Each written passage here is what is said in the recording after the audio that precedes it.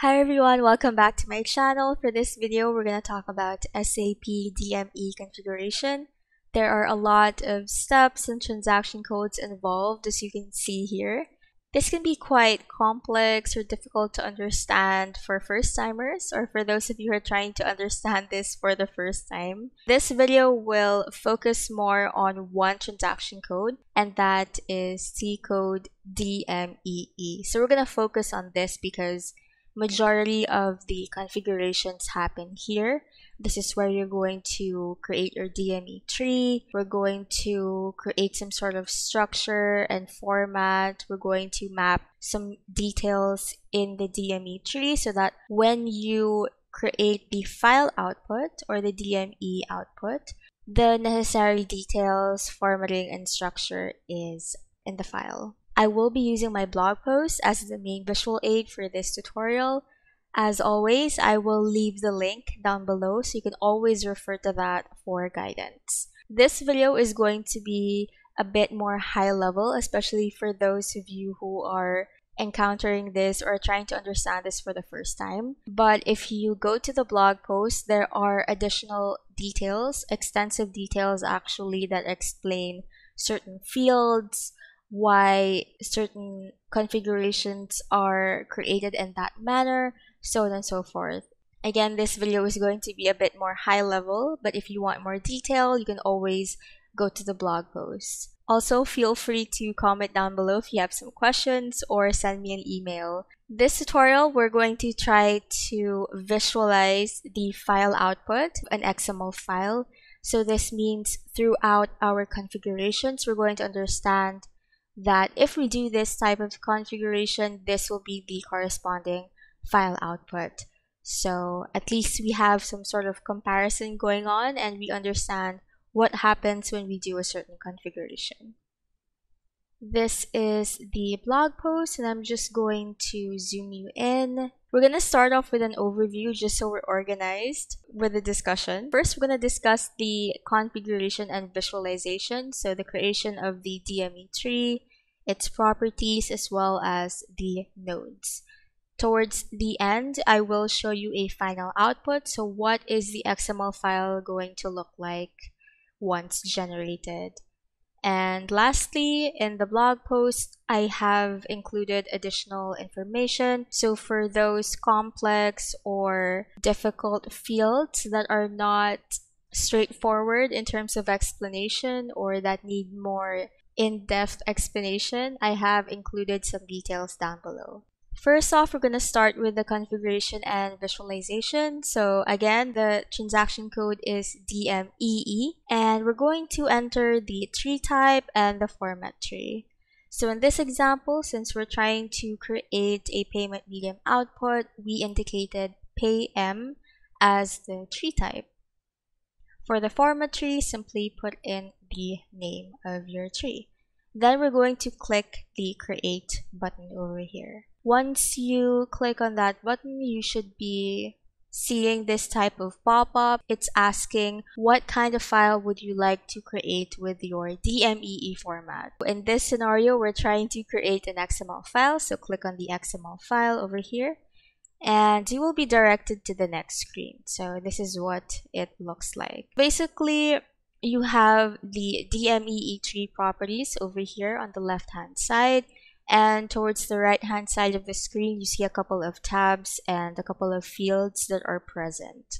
The first tab that you will see is called the administrative data tab and overall we're trying to fill in the DME tree properties before we create the nodes. In the first tab, you can simply put in your description. So I entered a short description here. For the documentation, you can leave that blank. It's not going to cause a hard error when you try to trigger the payment medium output. You can leave it blank for the meantime. Next, we're going to click on the Format Attributes tab and it's going to look something like this. In this example, I indicated FPM underscore SEPA as the format specification structure. And this can be quite difficult to understand for the first time, but basically the purpose of this is later on, I can use this structure, the corresponding components and fields later on when I want to do some mapping for format purposes. So the keyword here is format and mapping. Over here, I have a screenshot of this structure. So here is fpm underscore SEPA structure, and we have a couple of components or fields that are available for use in terms of our payment medium. So we have the XML namespace, the data medium, as well as the schema. It's quite technical for now, but later on we'll see how we're able to use this. For the print accompanying sheet, we're trying to we're trying to focus on a scenario that's quite simple and easy to understand. So for now, we're going to select the without accompanying sheet. But if you want more details on this, I did link an SAP note on this. You can click on this one. Moving on to the next tab, levels. Here you will see a couple of numbers here, so level 0, 1, 2, and the repetition factor. It can be quite intimidating because they're all numbers and at first glance you might not know what it means. But in my personal words, you can simply think of it as how many times, meaning the repetition factor over here, the information can be repeated per level. So in this case, for level 0, that means that, okay, the data specified in level 0, if I declare it to be level 0, it means it can repeat multiple times. For level 1, if I declare something as level 1, it means that it can only repeat once. For level 2, the same as level 0, it can repeat multiple times. I did include a more in-depth explanation on this. You can always refer to this. I included a simple example as well as a more complex example. You can read through this, but for this video, we're going to skip that. Then we're going to click on the next tab called Sort or key fields. Basically for this, you need to be able to specify what type of information by form of a structure and field you can find per level. So let's refer to this screenshot over here. I indicated structure FPH with a couple of fields over here and I specified them as level 2. So what does this mean? Let's focus on this area. It means that let's say this data FPH structure field doc1r denoting a payment reference. It means that since I specified it to be level 2, we can expect multiple payment references to occur in one output file. I hope you get the connection because we, we declared level 2 as 99999 as you can see and this means that this type of field or data can occur a lot of times. So if I specify this to be level 1, it means it's going to occur one time only. For the checkboxes over here, if you select the key field, it means that any change in the value tells SAP that the level has ended. If the payment reference value changes and you selected key field, that means that, okay, SAP, this is the end of the level if that makes any sense. And for the no sorting field checkbox, if you tick on that, self-explanatory, it means that there will be no sorting whatsoever for that field. Moving on to the last tab, which is file data. Here you need to specify which characters you want or do not want to allow. In this example, I selected do not allow these characters and simply enter the characters over here in the field. So this basically sums up the tabs that you need to fill up for the DME tree properties. And now we're going to move forward to creating our nodes. As a refresher or additional guidance, you can click on extras and node legend to see the different type of node types available. So here we see element, XML attribute, technical node, atom, so on and so forth. And you can always double click on the eye icon for information on each node type. It's quite technical when you read the, the information from SAP, but I did add some personal keywords per node. You can refer to this table below. So for example, an element, I simply associated it with an XML tag. For XML attribute, I associated it with the details inside an XML tag. Just for alignment, this is a tag and an XML has these types of tags in a file. We have tag and this slash indicates that this is the end of the tag. So any sort of information, for example, I added some characters over here, it means that these characters correspond to this tag. And another example is by colors. So this is colors and we have the end colors tag over here and we have a couple of tags within the colors. So this means that you can think of it as a grouping if that makes any sense. Within the colors grouping we have color 1 and color 2. Basically the detail for color 1 is black and the detail for color 2 is blue. Okay, when I mean by element, let's say that this is our element. So let me just type it here. The tag here is our element. And when I say XML attribute, it's possible that we have some sort of color detail over here. And this means that any sort of value, for example, this is just for example purposes. This type of value or detail within a tag corresponds to an XML attribute. For technical nodes, I did mention that this won't show up in the XML file as a tag whatsoever or any detail.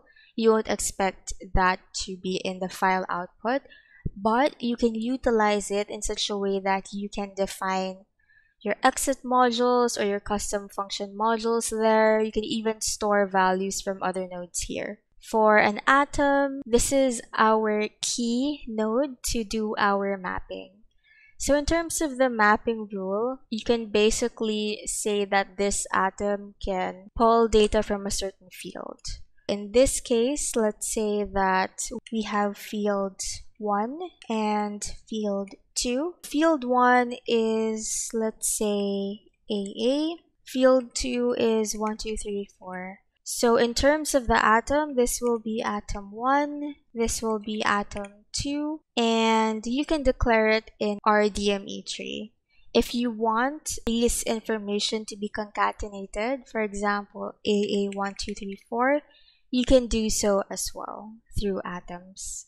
And it will output in a single line or within a tag. It depends on how you set it up. Moving forward, we're going to try to create our nodes now. So in the DME tree properties, right click on that and select create element. So you should now have this type of screen where you have new element and some blank fields to the right. Now let's look at our XML file. Our scenario says that, okay, we want to be able to show the document tags in the output file. So this is our sample output file and we want to output document tags over here. Let's say that we want to make sure that it only occurs once. If that is the case, then simply enter the following details. So the name here will be the one that outputs in the file output. So document, you put it here. If it has to be lowercase, then make sure this is lowercase. Then you can add your short description and indicate your level. We indicated level 1 because from our levels configuration a while ago, we said that we only want this to occur once, so we indicate 1. For our mapping procedure, we leave it as no mapping. Why? Because it is just a tag that we want to output. We're not mapping this from any structure or field. Now let us consider the scenario where we need to put extra details inside the document tag. So if you remember, we added extra details here. In this example, I'll zoom you guys in. We have some details within the document tag. So we see XMLNS and XSI. So this and this. What does this mean? It corresponds to an XML attribute. So we have two XML attributes that we need to declare. One is for XMLNS and one is for XSI. So we're going to right click on the document and select create attribute. You should have this screen below XML attribute and let's proceed to create XML attribute 1 for XMLNS. We're going to add the following details such as the name since it's lowercase we just we did not put any capital letter whatsoever. We added a short description and for the mapping procedure, we selected own a mapping or atoms. So going back to our atoms, we recall that we're trying to map it to output a certain value. Next, we're going to create XML attribute 2. Let's try to create the main attributes first. It's the same procedure. You right click on the document, create attribute, and follow the same procedure. So it's going to look something like this. You have both and the mapping procedure is atoms. By now, our output would look something like this. So we have document and the XML attributes over here in red. So XMLNS and the XSI according to how we defined it. What's missing is, of course, the details for each attribute over here. So this means that we want to be able to enter this type of value or text within these XML attributes. So one thing that you can do is to right click on the attribute and create atom. You'll have something like this. So we have the new atom over here. We're gonna start off with XML attribute 1 and we, we're trying to copy the XML file details, right? And so we're entering the details below. So we have ISO, ISO details, atom for the short description. We specified the length. And this time the mapping procedure will be a constant. Why? Because we're expecting that these values will not change. It's always the same, so it's constant. In this case, we're okay with the first tab and you might be wondering how I ended up with length 70. So going back to our structure, fpm underscore sepa, if you remember from our DME properties, if we go back to this component XMLNS, it has a length of 70. So I simply entered the same value there. We're going to click on the next tab called source. We're still in the first attribute and the atom. And we're going to copy paste this constant over here. So we're basically saying that always output this value or this constant text. If you need this value to be present all the time, this is where you can go to the conditions tab over here and enter the same arguments over here. This is basically saying that make sure it's present all the time. For additional information, I did include some sort of helpful tips. For example, arg11, which is this column, corresponds to the structure or reference value. So in this case, it's fpm underscore sepa. For argument 1-2, it's xmlns, so we're talking about the field value. Going back to our structure, we're talking about this component, so we indicated it over here. For the type, 1 for constant value, 2 for field in source structure, 3 for reference ID. So in this screenshot, we're talking about a structure and its corresponding field, so we input 2, and so on and so forth. Next, we're going to create XML attribute 2. This time, we're following the details mentioned here. So it's the same approach. We have constant as the mapping procedure and 70 as the length.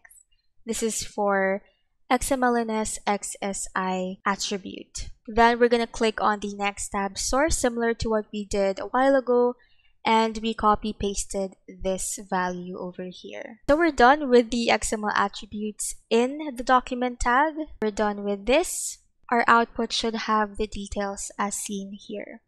We're going to take our scenario up a notch and let's consider that we need to include payment details as seen in the XML file below. So this means that we need to add the payment details tags in our tree.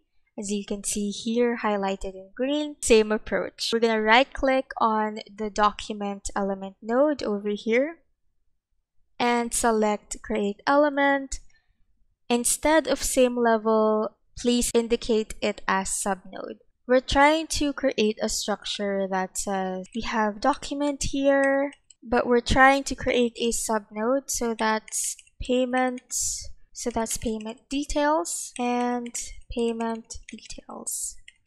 So it is a subnode. It's a node within this node, which is why we're using this option. So you should now have a subnode element under document. I don't know if you guys notice, but there's an indentation that's going on. We have the the second element or the subnode a little a little to the right and we have our payment details here. So again, since this is just a tag that we want to output, we're using no mapping. And the rest of the other tabs, you can leave it blank because we don't need to use it.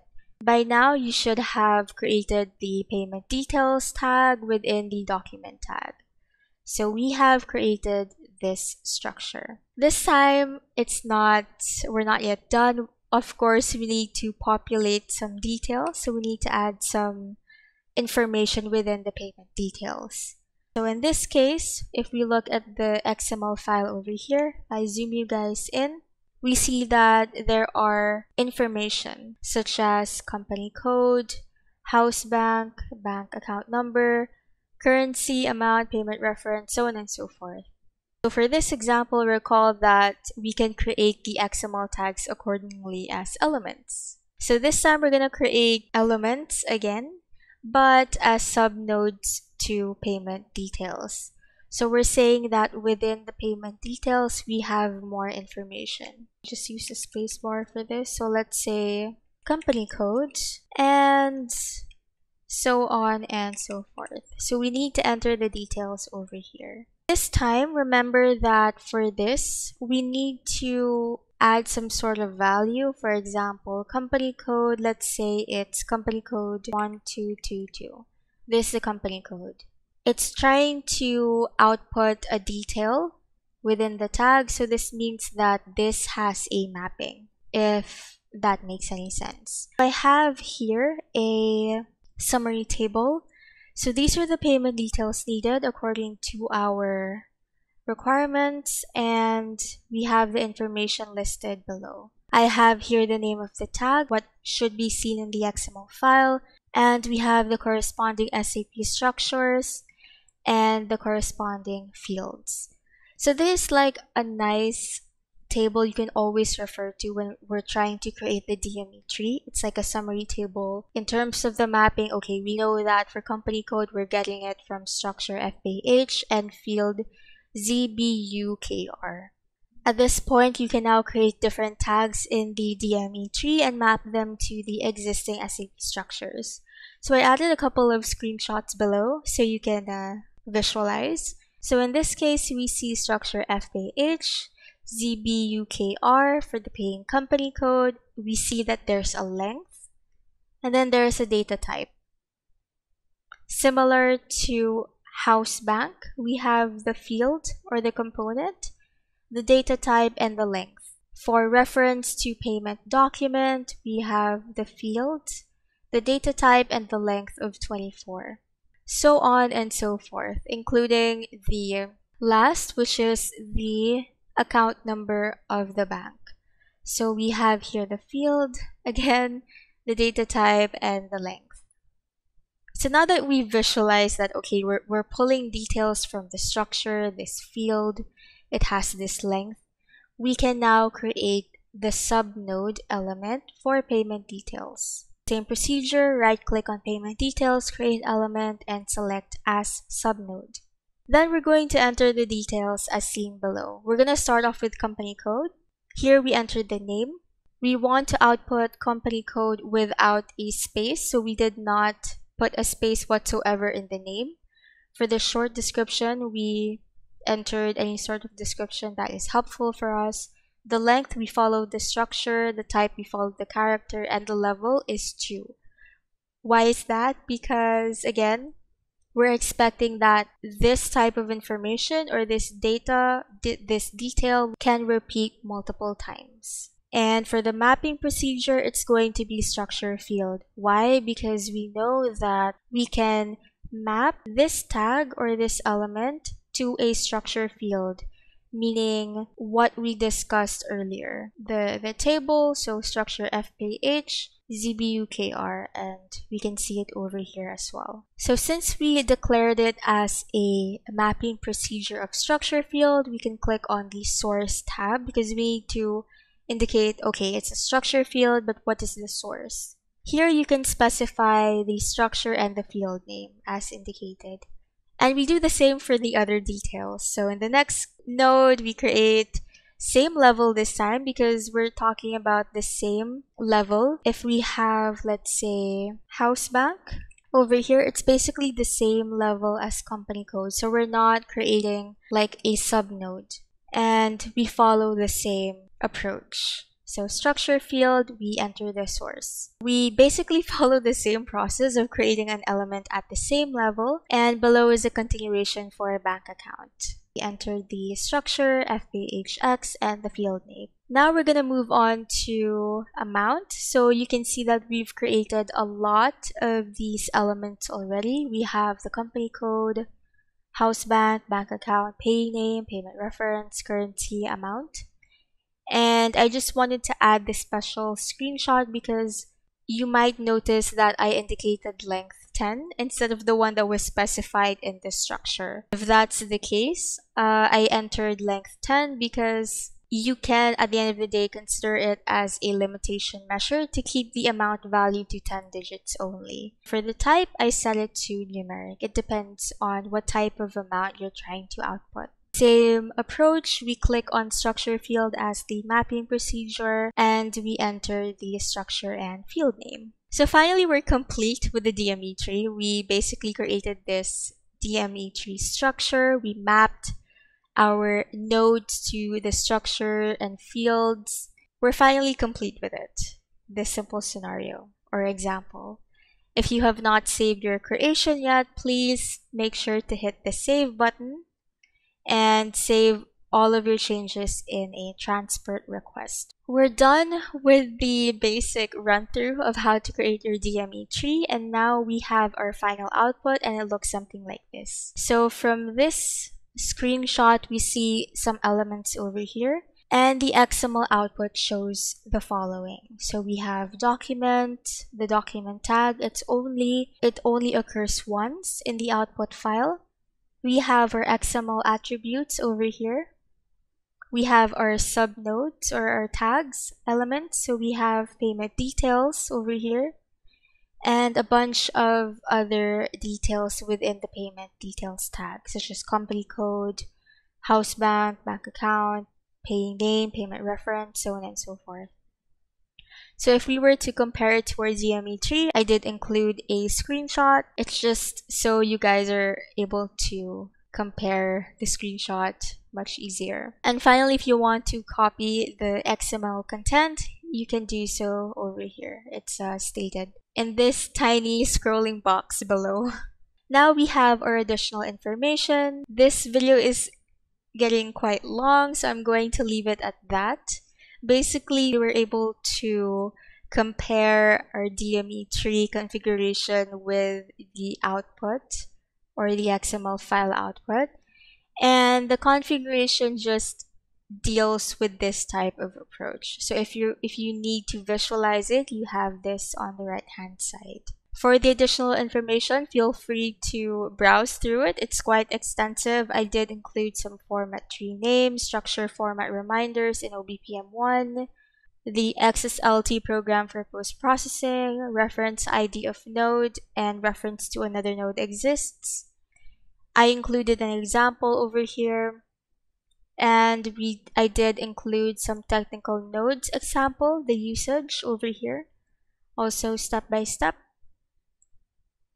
some additional details on the formatting of the XMLNS and what you need to do, some additional uh, configurations if needed. The structure of the DME file and SAP example is also available. I did include some additional details here for flat file approach. That's it for this video. I really, really hope that you guys learned from this. Thank you so much for watching and I'll see you in the next video.